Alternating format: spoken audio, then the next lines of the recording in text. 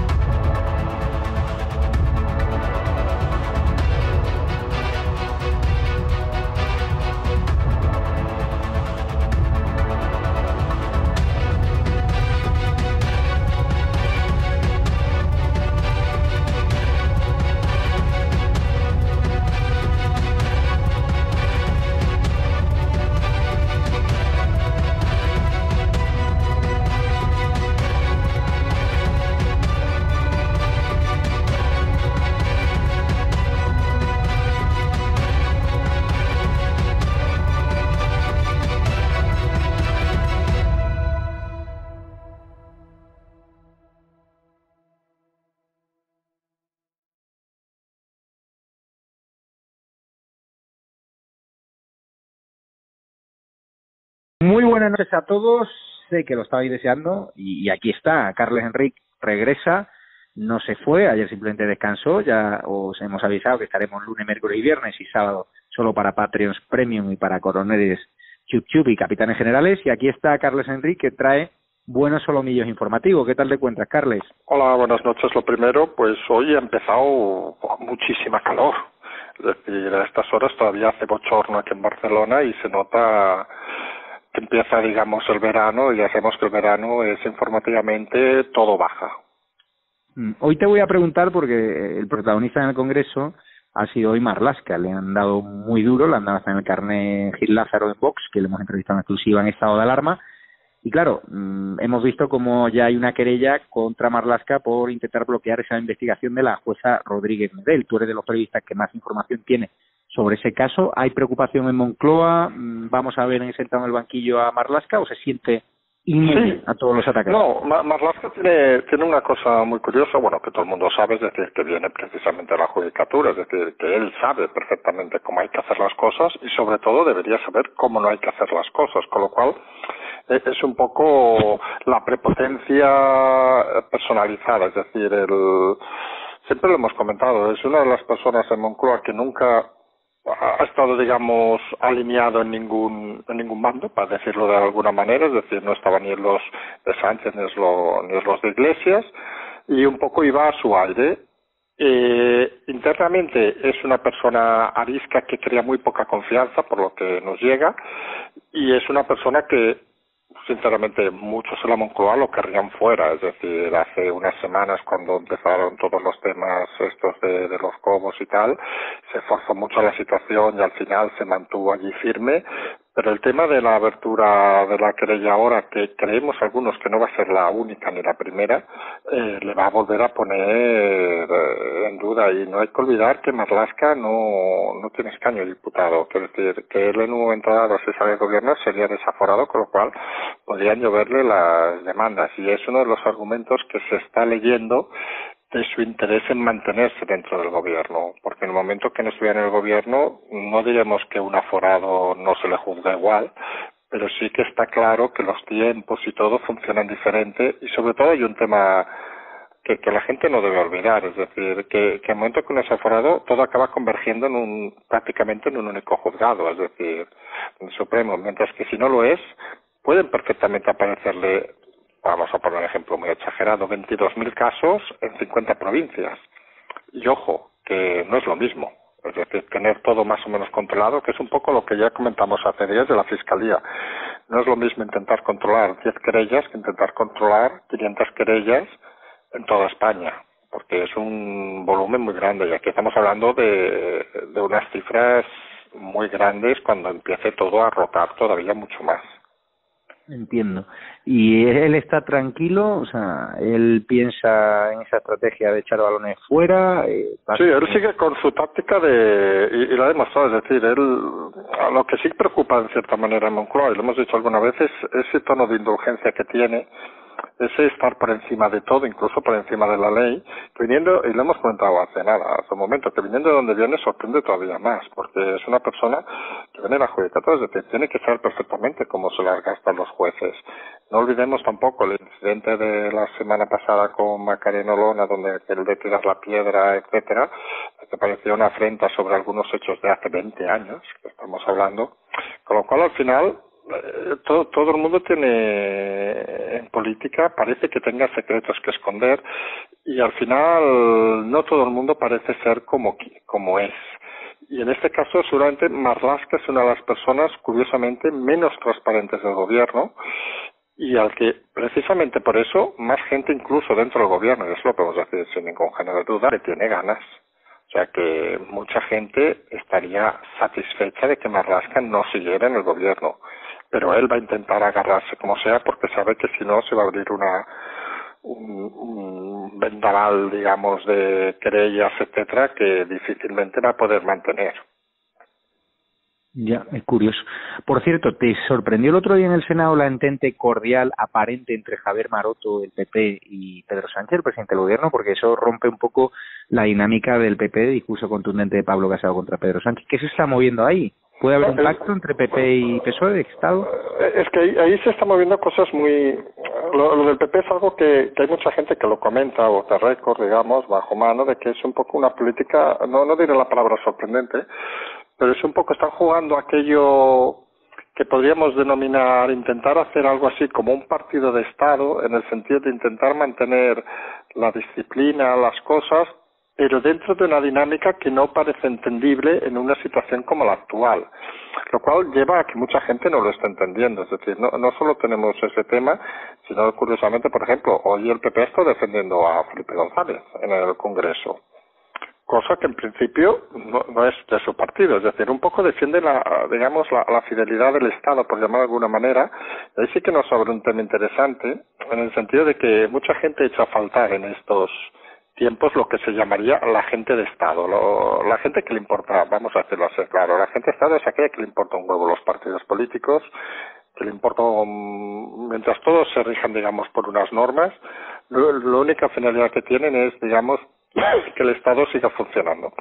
Y en ese sentido se echa mucho a faltar porque en, en una crisis como la actual se ha visto de que hay personajes que creen que, por ejemplo, la vicepresidencia, vicepresidenta del gobierno, incluso la presidencia del gobierno es más una cosa personal o una cosa de partido que una cosa de todos. Es decir, es aquello de, que tenemos ministros también, de que no, no acaban de entender de que lo importante en un ministerio es el ministerio, no el ministro.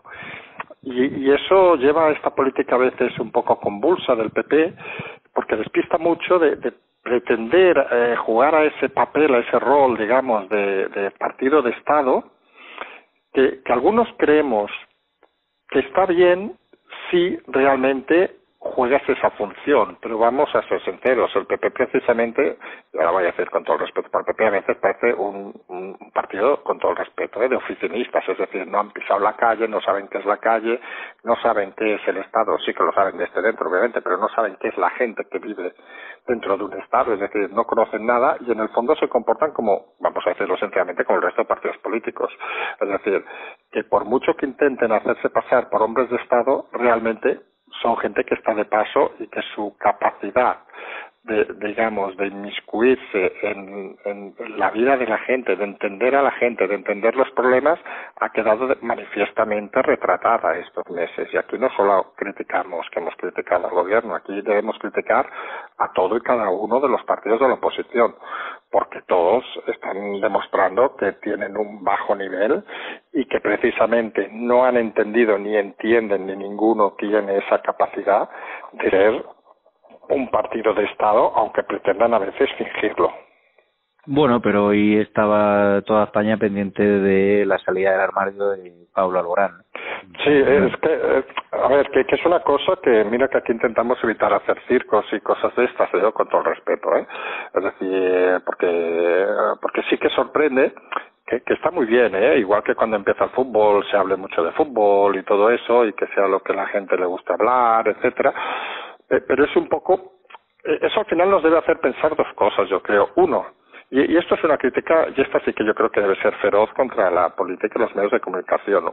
La primera es más clara, es decir, que ni la política ni los medios hacen atractiva la política para la persona que escucha. Es decir, eso es algo, yo creo que hasta los que intentamos hablar de vez en cuando de política nos aburre soberanamente, lo hemos comentado alguna vez, cosas como el Congreso, etcétera, es un auténtico, con todo el respeto, coñazo, es decir, porque lo que se habla allí no trasciende más que allí, es decir, parecen ejercicios de ego, de reflexiones de ego que se están preparando durante 23 horas para soltar una frase graciosa que realmente al final lo has comentado tú, es decir, lo que acaba importando a la gente si Pablo Almorán es homosexual, no es homosexual, si se tira de un pino, no se tira un pino, cosa que bueno, puede tener su interés socio social, digamos, a quien lo tenga, pero vamos, eh, que a estas alturas estemos discutiendo si a alguien le gustan los tíos, las tías o le gusta hacer el harakiri, pues oye, cada uno que haga lo que le dé la gana, que hemos dicho que es un poco la gracia de este país y de muchos países en democracia, es decir, que cada uno puede hacer lo que quiera y que nadie le puede decir nada, más faltaría de que lo haga.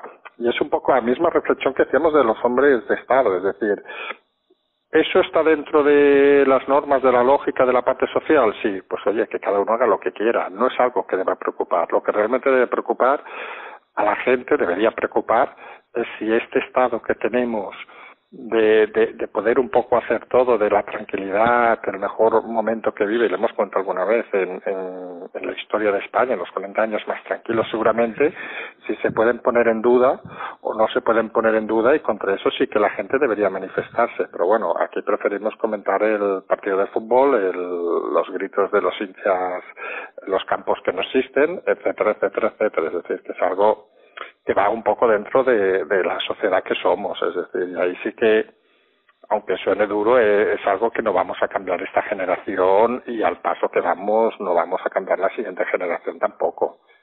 Es, me decía un amigo hoy que es consultor político de España es un país que olvida muy rápido. ¿Tú ya crees que en eso se está basando Iván Redondo y Pedro Sánchez para tirar hacia adelante con el pan y circo y mirar hacia el futuro, decir pacto de Estado, aquí ya nadie habla de los 40.000 muertos, de las negligencias. Ellos saben perfectamente que pueden aguantar la legislatura porque hay muchos españoles que ya no van a mirar al pasado. Sí, pero eh, aquí eh, lo hemos, eh, hemos hecho hincapié eh, en esto más de una vez, es decir, es, esa política algunos creemos que es correcta en, un, en una situación, podríamos decir, extraña, pero en una situación excepcional se hace muy complicada, es decir, porque porque al final, y en eso no vamos a negarlo, somos un país que olvidamos muy deprisa, bueno, depende de qué cosas y depende de quién olvida muy deprisa las cosas. Y un poco lo decíamos el otro día, lo del tío vivo, la sensación de que un día parece que van a salir mañana y el día siguiente parece que van a estarse cuatro años. Y algunos decimos que ni una cosa ni otra, que es una cosa que sigue funcionando, sobre todo principalmente porque detrás de la primera crisis sanitaria, de la crisis económica, viene la crisis social.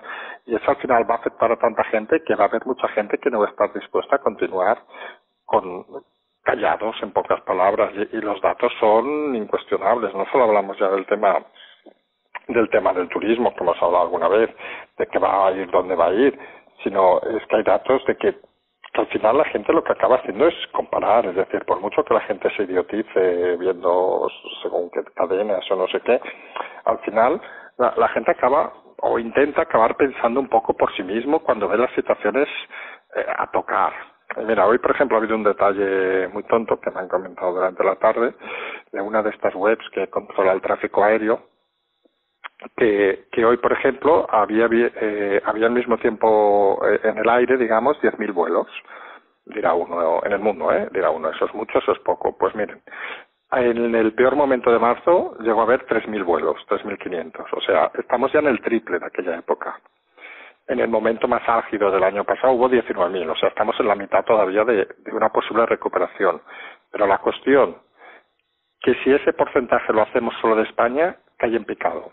Es decir, que la recuperación, me comentaban hoy que hay compañías asiáticas que ya están eh, contratando pilotos, algunos europeos, pero la, la, la salida, digamos, que estamos viendo en, y en este caso hay que diferenciar Europa de España, ¿eh? es decir, en España es infinitamente más lenta, infinitamente será más dramática. ¿Y eso puede significar que haya cambios, que la gente siga pensando lo mismo? Bueno, este país ya lo hemos dicho, este país está formado por muchos tipos de gente, pero hay una parte importante que son, y lo digo con todo el respeto, de que son perfectos idiotas. Entonces aquí da igual que vote que, que, y lo hemos dicho alguna vez, que el socialismo puede sentar de candidato en vez de a Sánchez a Francisco Franco y sigue ganando. Y hay gente que le seguirá votando porque, porque son así. Es decir, entonces en ese sentido, el profundo cambio que, que algunos decimos que debe haber en este país es la educación y volvemos a insistir en lo mismo. Y hoy precisamente en el Congreso parece que se ha tirado hacia adelante bueno, sigue su camino, digamos, un nuevo cambio de la educación y el detalle vamos a cambiar por octava vez la ley de educación en España, en democracia, octava vez, un detalle, las licencias de televisión no han cambiado ni una. Es decir, y la educación, que es lo más fundamental de un país, se va a cambiar por octava vez. Si eso no hace a la gente reflexionar de que algo se está haciendo mal, eh, con todo respeto, eh, que apaguen y nos vamos. Es decir, porque al final eh, lo hemos dicho más de una vez, la democracia no la construyen dos personas, la construyen, la, la construyen 47 millones de personas en este país. ¿eh? Es decir, que hay mm. cinco o seis que quieren dedicarse a ver el amanecer, perfecto, genial. Pero lo que hay que pedir, y yo creo que todo el mundo debe de empezar a pensar, es que hay que empezar a asumir responsabilidades individuales de cada uno de que, oye, este periodo se puede acabar, y luego que nadie de aquí tres meses diga, ah, es que yo pensaba que ingresaría, porque hoy lo hemos escuchado a alguna persona, la renta mínima, pero claro, resulta que no puedo ingresarlo porque el año pasado eh, ingresé más de lo que me piden y ya no puedo, con lo cual me quedo tirado. Bueno, la misma historia que veremos a partir de septiembre cuando empiecen los cierres masivos de, de negocios, etcétera, porque esto no va a funcionar y ahí hay unos responsables que hemos dicho sí que es cierto lo que comentas de que la gente tiene la tendencia a olvidar, y no lo vamos a negar, pero claro, la gente olvida cuando las cosas van bien. Cuando las cosas siguen yendo mal o van a peor, la gente en este país especialmente tiene una cosa que algunos no la ven muy positivamente, pero bueno, que se llama algo así como la venganza y la ira. Y en este país la gente se cabrea mucho, vamos a decirlo claro, es decir, y no es lo mismo llegar cada mes con 1.500, 2.000, 2.500 euros al mes de cobrar, que llegar un mes que no tengas nada y tengas que, pagar la hipoteca, que el banco te cobre unos intereses, tengas que comprar el, la comida en el supermercado, etcétera, y que no tengas dinero. Entonces ahí vamos a asistir a un problema y ahí yo creo que el marketing de redondo podría funcionar en un escenario normal, pero en este escenario no funcionará y Redondo, lo dijimos el otro día, que no es una persona tonta precisamente, y es una persona, vamos a decirlo con claridad, bastante brillante, ya veremos si se quiere apuntar a continuar en un gobierno así. Yo te digo que ahora Iván Redondo, conociéndole bien como le conozco, lo que estará pensando es su caché ahora está por los suelos, él querrá mitigar esta crisis de reputación que ha tenido el gobierno y que le afecta a él, e irse en cuanto el transatlántico de Moncloa empiece a volver a resurgir. Es decir, él no va a irse ahora a ningún lado porque sabe que si se va a Latinoamérica su caché está por los suelos. Él tiene ahora que demostrar que aguanta el transatlántico de Moncloa y con eso vender que al menos él consiguió que Pedro Sánchez no lo echasen de la Moncloa con 40.000 muertos. Eso es lo que yo creo que él tiene en la cabeza, Carles. Sí, él ahora eso ya lo tiene garantizado, ¿eh? porque realmente, y, y, y nos podemos creer o no que, es un tema que le doy, pero fíjate que, ni, que vamos a comentar de pasado, el tema de las encuestas de Tezanos, pues las podemos creer o no, es decir, pero, pero esa parte, digamos, de marketing electoral, para llamar de alguna manera, los resultados serían incuestionables. Es decir, un partido que ha tenido 40.000 muertos, bueno, más de 40.000 muertos, la peor crisis económica en 50 años o 100 años, según parece mantiene sus escaños, es un éxito. Eso parece innegable. ¿Nos lo podemos creer o no nos lo podemos creer? Hemos dicho que la dinámica de este país nos hace de que podamos creer cierta parte de la información porque porque la gente es como es y no vamos a negarlo es decir y, y esto no es un tema de, de, de, electoral sino es un tema simple y llanamente de educación y de formación de que tenemos los niveles que tenemos y pues mira la democracia tiene esa gracia que lo que se vota la mayoría es lo que hay que hacer. Pues si la mayoría prefiere tirarnos al río pues hay que tirarse al río. Quien pueda salvarse que se salve. Y redondo ahí perdona y redondo ahí sí que es cierto lo que dices de que él tiene que salir en el momento, pero puede perfectamente pensar de salir cuando está, ahora está mejor enfilado el tema para su salida, seguramente que de aquí dos meses, cuando se marulle el tema judicial. Eso también te lo digo. Entonces, ahora dentro de lo que cabe, parece que ha mainado un poco y ya veremos si hay cambios en el gobierno hasta dónde llegan. Hay una fake news que está colocando el gobierno que ya ha confirmado que es que España, que están creciendo el número de reservas hoteleras, mm. Que está todo genial y yo hablo todos los días con amigos míos hoteleros y me dicen que eso es falso, que no han registrado ni una sola subida. Veíamos las imágenes de los mallorquines aplaudiendo a los turistas alemanes, a los cuatro gatos que están llegando a Baleares. ¿Por qué nos están tratando de colocar esta fake news del turismo y decirnos que no va a afectar, básicamente? Mira, ah, yo creo que ahí es un poco el, mismo planteamiento que han hecho hasta ahora y, realmente les ha ido funcionando. Es decir, sabemos que ahora, por ejemplo, ya no sumamos muertos, ahora parece que hasta vamos a empezar a sumar resucitados. Es decir, que es un poco la, la ironía. Yo creo que aquí el tema es que se han dado cuenta de que controlando ciertos medios de comunicación, controlando el mensaje, creen, o, y no van equivocados en eso, de que cierta parte de la población se lo traga todo, así de claro. Es decir, aquí no solo hay que hablar con hoteles, que es obvio, es decir, aquí cualquiera puede irse, que por ejemplo tenga interés en, o le guste, o, le apetezca, o le hubiera apetecido viajar, eh, que haga un ejercicio muy fácil, es decir, hace 15 días tú te ibas a una web de estas de cualquier compañía aérea española, tampoco hay tantas, y podías mirar un vuelo para julio y te salían destinos Barcelona, por decir Barcelona donde estoy yo, ¿eh? a otras ciudades te salían cuatro o cinco diarios. Al cabo de diez días, mira, solo te aparece uno. Explicación de las compañías, no hay demanda.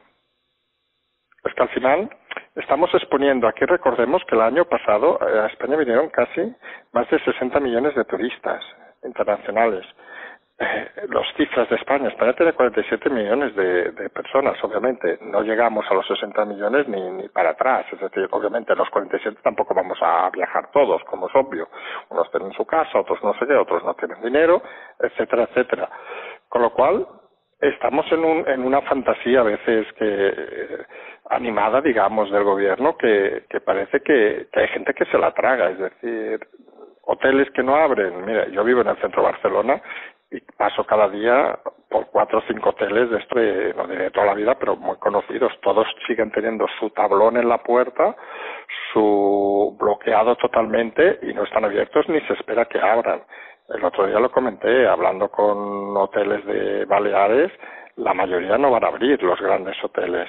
La Costa Blanca, el porcentaje de abertura va a ser también ínfimo. Es decir, eh, ayer me comentaban que en de Sevilla, el barrio de Santa Cruz está completamente, el centro completamente cerrado todo. ¿Dónde vamos? Que hombre, que hay gente que no sale de su casa, que solo ve la tele, que solo ve ciertos programas y que es profundamente ignorante en este país. Sí, pues vamos a negarlo, sí, hay gente todo. Que esa gente vota, sí, obviamente tiene el mismo derecho que cualquiera. Siempre hemos dicho que puede votar cualquiera, por poca educación que tenga, tiene el mismo derecho porque eso se llama democracia. ¿Vale? Que se estén enfocando a ese segmento de población para partir de eso intentar colocar otra mentira, bueno, no será la primera que han hecho, es decir, pero lo que está claro y yo creo que es innegable es que el turismo, y, solo hay que oír, ya no hablo ya de las pastorales, es decir, hay que, hay que bajar a la calle y preguntar a cualquiera que tenga un restaurante, que todo el mundo tiene un amigo, que tenga un bar o lo que sea, un restaurante, etcétera, bueno, digo un hotel que ya son otras historias, y palpar un poco la realidad. Es decir, y los que vivimos en ciudades altamente turísticas, como mi caso en el centro de Barcelona, es, están, están, digamos, alucinante escuchar que el turismo va a funcionar de golpe porque es que solo, mira, ya se una noticia de la casa Batlló, que es la de mi casa, que es de Gaudí aquí en Paseo Gracia, Paseo Gracia con Aragón, eh, cierra, por, bueno, está cerrada obviamente, va a abrir a partir del 1 de julio gratis para los turistas españoles, contando de que no va a venir nadie de fuera. Pero claro, recordemos que la entrada, que yo paso cada día por la puerta, valía 35 euros para un turista fuera. ¿Dónde voy? Obviamente, los españoles serán a partir del 1 de julio, han dicho, me parece, julio, agosto, no sé si han dicho septiembre, gratuita. ¿Dónde voy? Si hubiera realmente una, una avalancha de turistas que fueran a venir, no se tomaban esas políticas. Es decir, no deja de ser una fundación privada, es decir, que tienen que mantener el edificio, que es por cierto espectacular que venga a Barcelona lo vaya a ver y sepa que es gratis a partir del 1 de julio pero ¿dónde voy? Es decir, que es otra mentira que, que están colocando. Es decir, y aquí vuelvo a lo mismo. Miren webs de compañías serias, que es un ejercicio que puede hacer todo el mundo en su casa. Miren Booking. Digo Booking no por hacer propaganda, pero miren Booking y miren las reservas. El otro día hacíamos un ejercicio muy tonto, que era mirar cuántos hoteles de cinco estrellas había disponibles para mañana. O sea, no nos fuimos muy lejos. En Barcelona, en París, en Dubái y en alguna otra ciudad, que más o menos tienen más hoteles de cinco estrellas, obviamente ellos, pero el porcentaje, en Barcelona nos salían disponibles de cinco estrellas cinco hoteles. En Londres nos salían ciento y pico, en París ciento y pico, en Dubái, bueno, ciento y pico también, es decir, nos salían los habituales, menos algunos para entendernos, pero en Barcelona nos salían cinco. Juraría que estamos hablando de menos de un 10% de los hoteles de cinco estrellas que hay. En Madrid haces el ejercicio y es lo mismo, es decir, las cadenas hoteleras no van precisamente a abrir y no están lanzando vítores de alegría diciendo que vienen los turistas, sino un poco has comentado toda la frase que algunos cada vez tenemos más clara, que esto parece que haya venido Mr. Marshall, empezar de cero, y lo hemos dicho alguna vez, levantar la industria turística no es fácil. Levantar la industria turística de cero, hoy hemos visto datos de reservas hoteleras de marzo de Cataluña, por ejemplo, 100% de baja. Obviamente estaba todo cerrado. Levantar ese menos 100%, nadie piense que se hace haciendo una campaña de publicidad internacional. Eso no funciona así. Eso funciona mucho el boca a boca. Y ahora mismo la industria turística en España, que es el 14% del PIB, entre el 14 y el 16% del PIB, de más de 60 millones de visitantes extranjeros, no va a venir, ni se le espera que venga. Con lo cual, ahí vamos a tener un agujero muy grande, por mucho que Nadia Calviño, Sánchez, Redondo expliquen batallitas y lo que quieran explicar. Es decir, la realidad es la que es. Y lo que debe hacer la gente, y lo hemos dicho muchas veces, nos pueden creer, no nos pueden creer. A mí personalmente, lo he dicho más de una vez, me la suda. Me da igual que la gente crea o no crea. No es mi función convencer a nadie. Yo explico historias, la gente lo que puede hacer es documentarse. Y les digo lo que he dicho. Digo, oiga, entren en Booking, entren en Vueling, miren vuelos, miren precios, no sé qué, comparen, miren cifras del año pasado, cuántos turistas venían, cuántos vienen ahora, miren ocupaciones, y eso, por suerte, en esta época lo puede hacer cualquiera, que tenga su tiempo, su dedicación, y eso en Internet lo hace en cinco minutos. Y luego que opine si este año va a ser un éxito o no va a ser un éxito turístico. Yo creo que la respuesta es totalmente clara. Viene sin duda destrucción de empleo, pero es que aparte, Carles, tú que dominas estos datos también, nosotros en la empresa Estado de Alarma queremos profesionalizarla, queremos contratar a gente por las ayudas que nos están entrando, ¿no? que, que son ayudas que no que sean millonarias, pero sí nos permiten contratar a personas. Llevamos intentando hacerlo varias semanas, por no hablar de meses, y es imposible dado que el certificado digital no se está expidiendo en determinadas administraciones públicas como el Ayuntamiento de Madrid para empresas de reciente creación. Y sin certificado digital tú no puedes contratar a nadie. Es decir, que igual que se destruye empleo, no se está dejando a las nuevas empresas crear empleo. Con lo cual, hmm. se va a generar un daño irreparable a mm, nuestra economía. No, no, es que eso es incuestionable. Es decir, al final la, la gente debe tener una cosa muy clara. Es decir, y aunque sea explicar un poco, aunque sea un poco didáctico, es decir, los estados, y, y por eso es muy importante, los estados al final funcionan como una empresa. Es decir, tengo ingresos y tengo salidas. Es decir, si el estado no ingresa, no tiene recursos. Si no tiene recursos, tiene dos opciones. Una, endeudarse en mercados internacionales, que de momento España se puede seguir endeudando, o buscar a alguien que te preste dinero. En este caso, la Unión Europea. Ya veremos en qué condiciones, pero es que no, no, no tiene más vuelta de ojo, de hoja, perdón. Pero claro, si resulta que el descenso de los ingresos es tan grande, y ahí ponemos un ejemplo tonto, si tú tienes un restaurante y necesitas 10.000 euros y de golpe ingresas cero, ojo, que nadie te va a dejar dinero. Nadie, si no vuelves a vender, y insistimos en lo mismo, la gente no se crea que las industrias, sobre todo la turística, que, que tiene mucho que ver con la imagen y, y con la percepción de la gente. Es decir, la gente no va de viaje, si nos apetece, me invento, ¿eh? a Maldivas o a Croacia, yo que sé, decir, sitios con playas espectaculares. Vas porque has visto unas imágenes y tal, y porque generan un cierto tipo de seguridad, etcétera. Y ese mensaje de seguridad, de todo eso, ahora mismo no se está transmitiendo desde, desde España en ningún aspecto. Solo hay que leerse los diarios internacionales, el Financial Times que salía ah, poniendo a parir un poco que éramos de lo más desastroso de Europa, es decir, y todo eso, aunque la gente se crea que nadie se lo mira, acaban generando un cierto pozo que, que, hace complicado. Es decir, al final la gente funcionamos mucho por instintos, por cosas muy básicas que hemos dicho alguna vez. ¿Cuántos, y lo hemos explicado, pero yo creo que es bueno decirlo, cuántas de las personas que están escuchando serían mañana en que le regalaran un hotel de cinco estrellas a Wuhan, ahora, o incluso diré hoy, al lado del mercado de Pekín, por lo último que están diciendo? Seguramente pocas. ¿Cuántos irían seguramente a Milán eh, tal? Porque esa imagen al final lo que construyes en años, porque la industria eh, turística en España se ha construido muchos años con esfuerzo de mucha gente, pero mucha gente se la han cargado, como quien dice, en tres semanas. Y se la han cargado por algo tan básico como la no transparencia, las mentiras e intentar tratar a la gente como idiota. Que, efectivamente, ¿eh? que en España hay mucho idiota, vamos a decirlo muy claro, ¿eh? en España hay mucho idiota y, y se les puede tratar como idiota, pero que no piensen que el 60 millones de turistas vienen aquí porque son idiotas Vienen porque tienen una serie de garantías, una serie de servicios y la gente cuando se viene a un país de vacaciones es por temas básicos como que se come bien, que se duerme bien, que se hace todo lo que te da la gana y que tiene seguridad. Y ahora mismo parece que los hoteles, y esto nos lo han comentado de manera, no se va a permitir ni desayunar, o sea, olvídate de comer, los buffets, etcétera, etcétera, lo de la seguridad, solo hay que leerse cualquier diario internacional que parece que aquí no se muere nadie y las autonomías dicen que se mueren 500, el gobierno que nadie, y de repente hay 40 más que se ponen enfermos, o sea, una inseguridad de todo tipo que, que, que precisamente lo que no invita es a venir de turismo a España y luego intentar confundir a la gente pensando que los más de 60 millones de turistas internacionales nos vamos a convertir, los 47 millones de turistas eh, españoles, vamos a convertirnos por arte de magia en 60 millones, o sea, como si fuéramos peces multiplicándonos, oye, pues mira, imaginación puede tener el gobierno, pero tanto tampoco.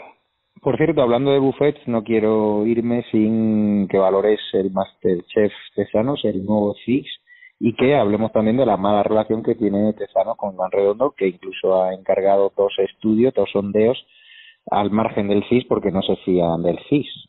Hmm.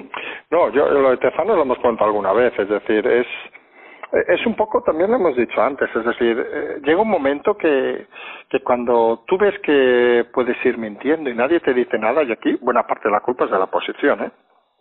Cuando nadie te dice nada y lo admiten o lo critican a lo bajini, pero nadie es capaz de, picar a la mesa y decir, hombre, por favor, esto es un cachondeo.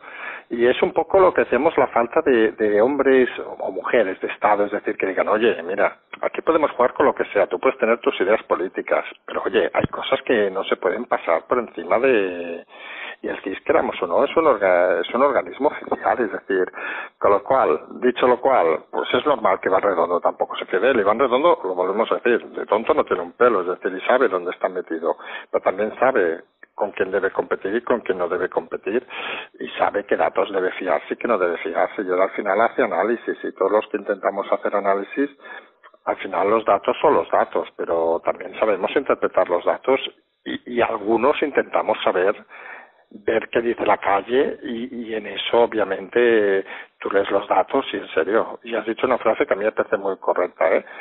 La sensación es que el gobierno parece que, que estos tres meses nos olvidemos que no ha pasado nada y algunos creemos que eso no es ni una cosa justa ni una cosa inteligente. Entiendo. Pues nada, Carles, nos vemos el viernes si te parece, aunque antes de acabar también te quiero preguntar muy brevemente por el repunte en China. ¿Preocupa a Moncloa? Pues claro, Fernando Simón está diciendo que hay guardar tranquilidad, que hay normalidad, que aquí no se está haciendo control a ningún turista extranjero, o sea, aquí a libre los aeropuertos y es el mismo discurso que veo que estaba llevando el gobierno en febrero cuando algunos advertíamos de que era un error no cerrar los vuelos desde China o desde Italia, ¿no? Sí, no, China sí que es cierto que hoy se han anulado entre hoy y ayer mil vuelos con Pekín. Eh, estos temas a veces yo creo que saldrá antes la noticia que el análisis, es decir, puede ser algo importante, no lo puede ser, va a afectar. Mm, aquí quien tiene, quien debería manejar la información en teoría es el gobierno, pero si desconocen incluso si se ha muerto alguien, imagínate que van a saber de a 10.000 kilómetros de distancia. Yo creo que no tienen ni pajolera idea. Y es más, las preocupaciones del gobierno eh, de la Moncloa, por ejemplo, hoy lo que más preocupaba, y algunos se puede hasta escandalizar, para que veas un poco el nivel donde estamos. Ahora lo que está preocupando, y hago un pequeño inciso final, es el tema de, la audiencia de iglesias, es decir, el tema de las famosas, el famoso USB. Es decir, preocupa y mucho. ¿Por qué? Porque si acaban imputando iglesias por el tema del USB, seguramente deberá salir del gobierno. Ojo, que es un tema que en Podemos no gusta nada, porque Podemos sí que curiosamente en la encuesta del CIS, que ya tiene, ya tiene risa la cosa, sí que baja. Es decir, con lo cual, si ellos se la creen, saben que una vez fuera del gobierno nunca más van a estar en el gobierno. Y si su líder, vamos a decirlo con claridad y franqueza, su líder único está no solo en el tema del USB, sino en el tema de las residencias, puede acabar imputado por 3.000 sitios, va a tener un problema, porque Podemos en el fondo está hecho imagen y semejanza de Pablo Iglesias, no, no estamos diciendo nada nuevo, es un partido de líder único. Dicho lo cual, eso sí que preocupa, lo de Pekín, entre nosotros. Algunos creemos que recordemos aquella frase de la vicepresidenta Cabo cuando dijo que estaba todo en la misma línea. Pekín, Teherán y Nueva York. Quiero decir que de geografía, con todo el respeto, van un poco flojos, con lo cual yo creo que Pekín les cayó un poco lejos y, y pasará como en febrero. Si llega algo, llegará y no se enterarán y dirán que pasa en todo el mundo y si no llega, pues no se habrá ni enterado, que es lo triste de este gobierno, que la mitad de cosas se entera más tarde que más temprano. Pues Carles, muchísimas gracias. Mañana tengo un día plácido, descansa y ven con las pilas cargadas, que siempre las tienes el viernes. Gracias a los Patreons que nos ayudáis, gracias a los youtubers de la comunidad que nos ayudáis, que estáis teniendo acceso en exclusiva a, a la sección de Carlos los sábados, que la verdad que están teniendo preguntas y respuestas de muy alto nivel. Buenas noches, Carles. Muchísimas gracias. Nos vemos Muy bien, gracias. Buenas noches. Hasta viernes.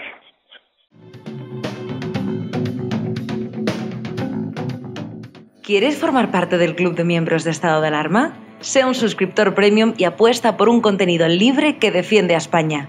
Te damos varias opciones. Echa un vistazo a las distintas categorías y dependiendo de la aportación que desees hacer, elige una. Con eso aportarás a que sigamos pudiendo crear este contenido. De parte de todo el equipo de Estado de Alarma, gracias por tu apoyo.